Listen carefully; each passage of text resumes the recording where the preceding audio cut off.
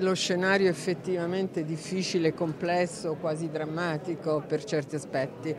E noi siamo sicuri che il settore assicurativo è molto importante proprio in un contesto del genere eh, perché può attivare quello che è il proprio mestiere, la propria mission, e cioè eh, aumentare, rafforzare la protezione degli italiani attraverso le coperture sui rischi e nello stesso tempo investire. Sapete che siamo un investitore istituzionale, i nostri eh, investimenti hanno raggiunto uno stock di 1050 miliardi e abbiamo una raccolta finora almeno una raccolta netta positiva che ogni anno ci dà un flusso di nuove risorse da mettere nell'economia, facciamo da ponte tra i risparmiatori e l'economia del Paese. Presidente, lei ha parlato di investimenti, a questo proposito le chiedo in che modo il settore può supportare il rilancio del Paese.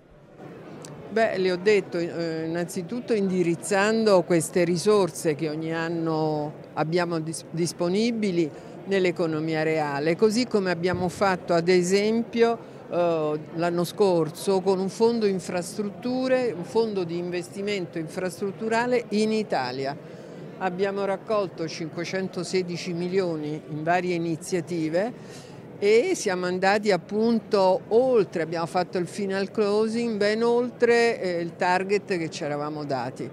Questo significa che si può fare, che eh, ci sono tante tante iniziative importanti per il nostro Paese.